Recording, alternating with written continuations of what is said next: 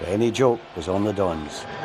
Well, Aberdeen are actually unbeaten in six league games, but this is the ultimate test for them against the runaway leaders, the champions-elect, Celtic.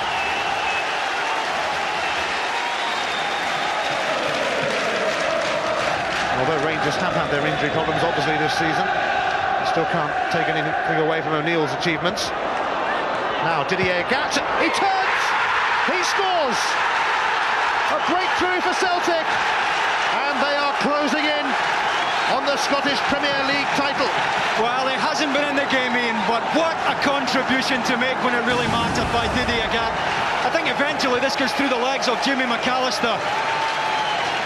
Ryan Esson wrong-footed. You see McAllister, he's tight on him. Quick spin there by Agathe. And the shot caught Ryan Esson on his heels.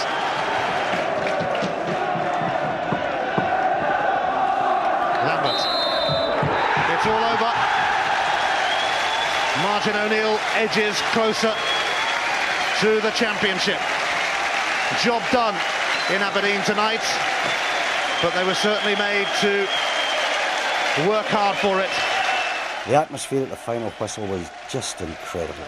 For 20 minutes after the end of the match, the fans danced in the seats, much to the admiration of Martin O'Neill. Well, do you think these fans are celebrating now? You wait till you see them next Saturday, if it does happen that way. It finishes at Pittodrie.